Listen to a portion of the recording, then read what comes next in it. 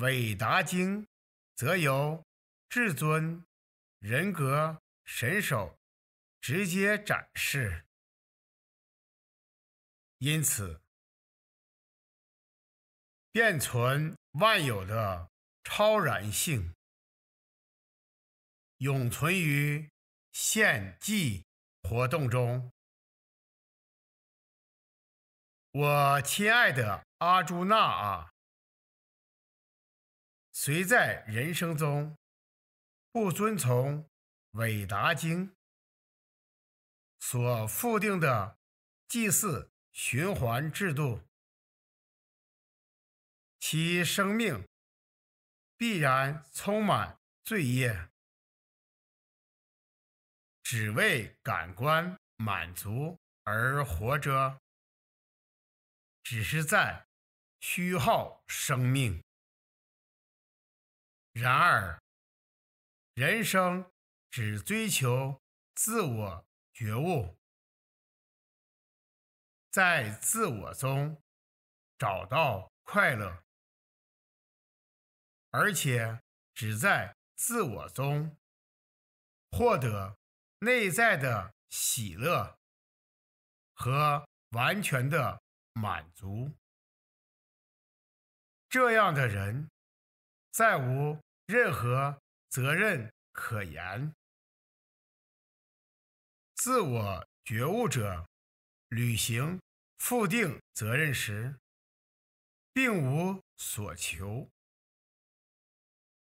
他也不会因任何理由而不履行职责，亦无需依赖。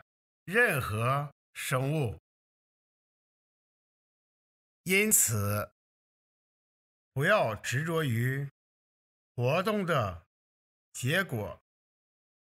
人只应将活动作为要履行的责任，活动而无所依附，便能真达。至尊，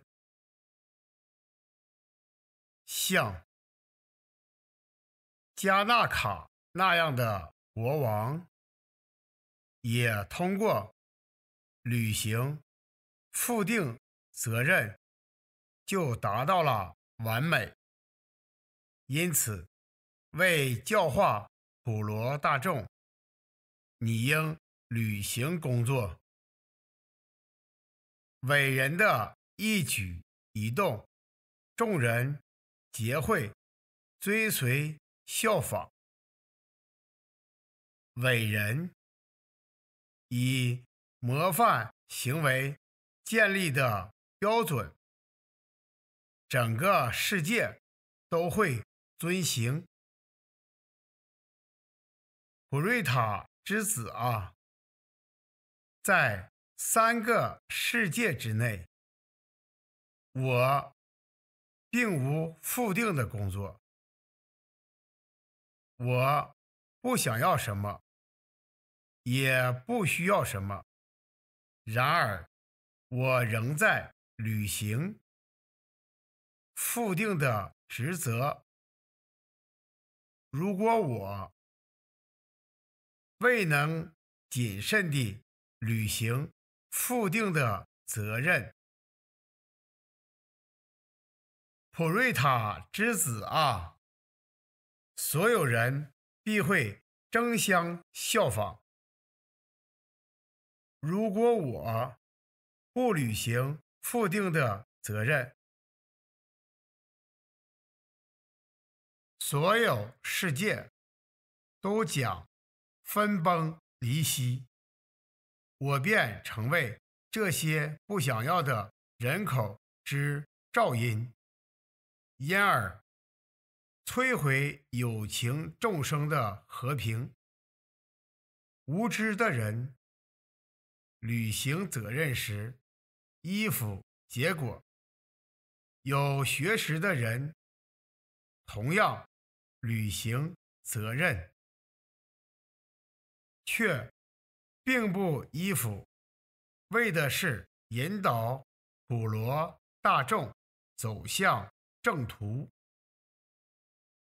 无知之人依附于负定责任带来的果报，智者切不可扰乱他们的心意，更不该劝导他们停止工作。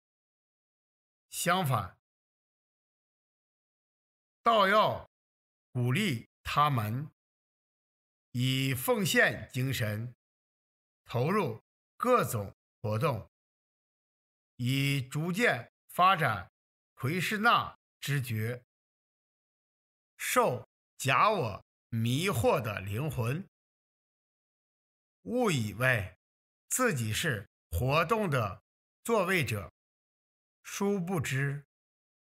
活动实际上由物质自然三形态引起，由物质自然三形态完成。臂力强大的人啊，认识绝对真理的人，深知奉献性工作与。功利性工作的区别，不会放纵自己的感官，沉溺于感官满足。愚昧之人受物质自然迷惑，完全投身于物质活动，而且变得依附。他们所履行的责任，因他们的无知而归于低等。但有智慧的人不该搅扰他们。因此，阿朱那，你要讲工作全部。奉献给我，全然认识我，不存任何利己之欲，不声称拥有什么，振作起来，作战吧！遵照我的训示，履行责任，忠实。追随我的教诲。